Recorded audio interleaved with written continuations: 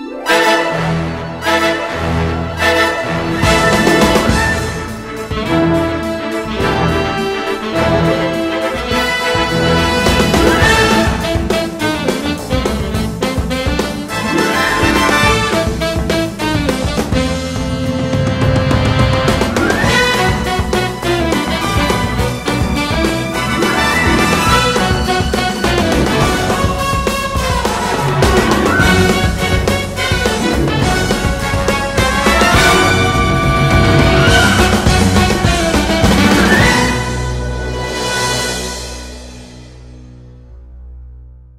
What is going on, everybody? It's Hector Martinez once again for Urban Kung Fu.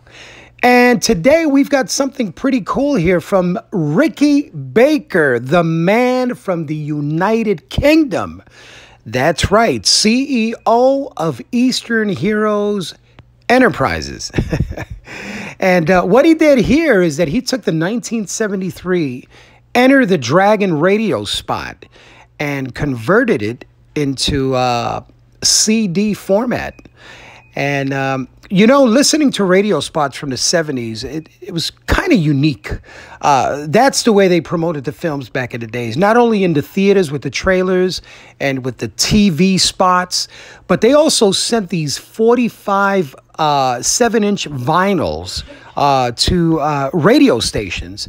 And at the radio stations, what they did was to promote the film, they played them on the air. So you would be in your car, you know, listening to music, and then once in a while, you know, bam, you know, you'll you'll hear an announcement from the latest movie that was about to be released. And in this case, we're talking about Enter the Dragon. Um, I managed to pick up my own original copy from uh, 73 and it's right here. It's from Warner Brothers. Uh, uh, it says Warner Brothers presents Enter the Dragon.